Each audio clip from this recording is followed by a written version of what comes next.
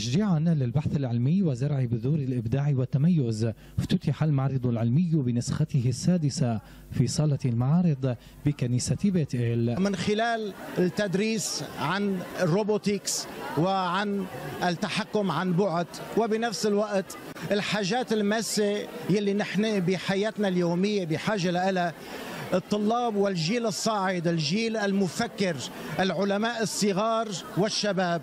هن عم بيأدوا وعم بيلاقوا لنا حلول للمشاكل يلي نحن فيها. عم بيعطي آه، أفكار علمية وخدمية. وللمستقبل هي كلياتها كثير مهمة إنه نحن نشوف آه، طلابنا آه، بهالفكر ومع وعم ياخذوا أكيد آه، بدعم آه، معلمينهم بدعم آه، مدارسهم. هذا كله لقدام ممكن يصير يطلعوا علماء أو يقدموا لنا كلها اختراعات وأفكار كثير حلوة لقدام. بمشاركة عدد من طلاب مدارس ومعاهد حلب الخاصة تم تقديم شرح حول المشاريع التي عرضت والتي تعمل على إيجاد حلول لكثير من المشاكل التي يتعرض لها المجتمع. مشروع كيف البناية بتتأثر لما الزلزال يصير. فحسب نوع الأساسات الموجودة بكل بناء هلأ في مثل هاي البناء في آه، بكون آه، قوية بس إنه بتتصدع شوي وممكن توقع ممكن تضل قوية.